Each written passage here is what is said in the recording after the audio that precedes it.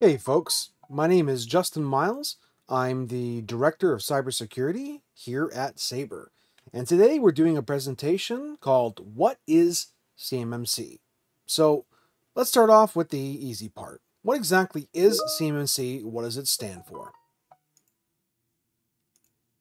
CMMC stands for the Cybersecurity Maturity Model Certification. But what exactly does that mean, right? Let's break it down a little bit.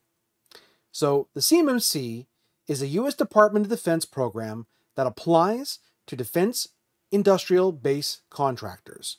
It's a unifying standard and new certification model to ensure that Department of Defense contractors properly protect sensitive information. CMMC measures cybersecurity maturity or capability and progression within an organization's security program with three levels. Each level has a detailed processes and practices required for CMMC compliance. Just a little general background here on CMMC as well. Uh, the US government provided cybersecurity guidance and contractors for years, but there is no way for contractors to prove how strong their cybersecurity programs were.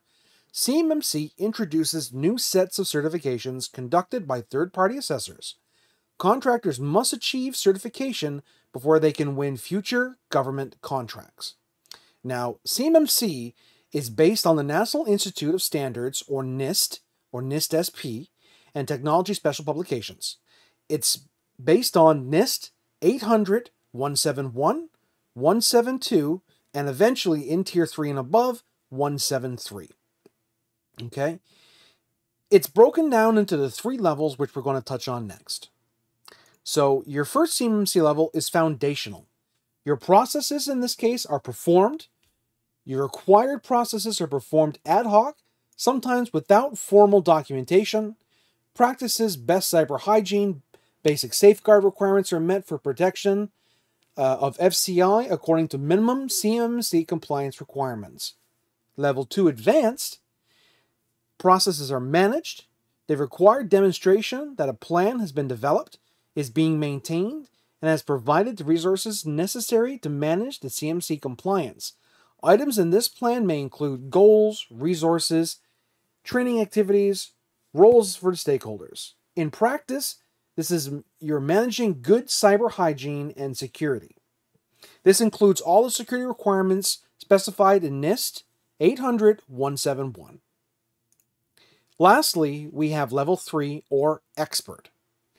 This our processes are optimizing. The CMMC compliance process implementation is standardized across the organization with ongoing corrective action improvements. Practices are, are advanced and proactive. This includes a subset of 800 172 requirements. Cybersecurity practices are in place to detect and respond to threats with a focus on protecting CUI from APTs. Tactics and techniques are modified to adapt to changing APTs as well. The depth and sophistication of cybersecurity measures are increased. that brings us to the end of our very quick uh, presentation on what is CMMC. Thank you, folks.